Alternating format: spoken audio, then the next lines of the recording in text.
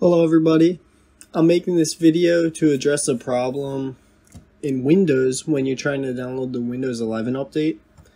Um, basically, this problem happened to me. I figured out a solution and I figured I'd share it with you guys.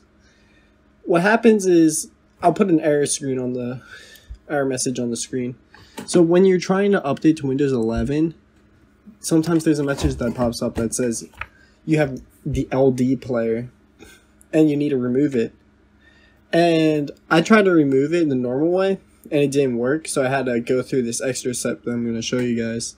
How to fully get it off your system, and how to load into Windows 11.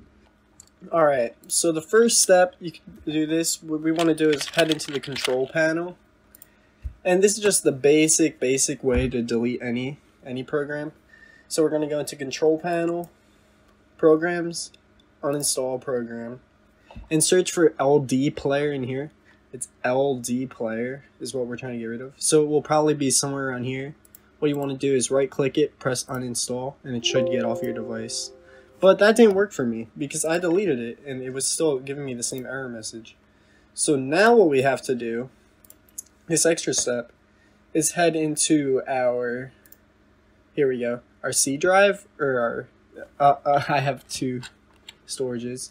So we could head into our SSD or our hard drive, whichever, it might be hidden on either one, so we gotta check both if they have the LD player.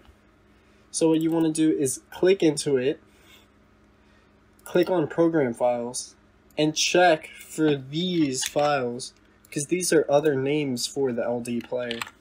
So basically all you wanna do is just search in program files up here for these two names and I just put an example here, but it should come up with one of these. And when you delete it,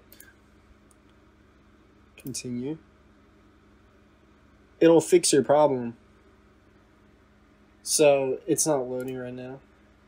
If we reload, you can see it deleted. We check the other one. I'm going to put these in the description so you can paste for yourself and not manually type these big things, but look for one more boom, delete it. And just to be safe, you want to check your other storage, um, your other drive if you have one. And that would be going into program files, play them in here.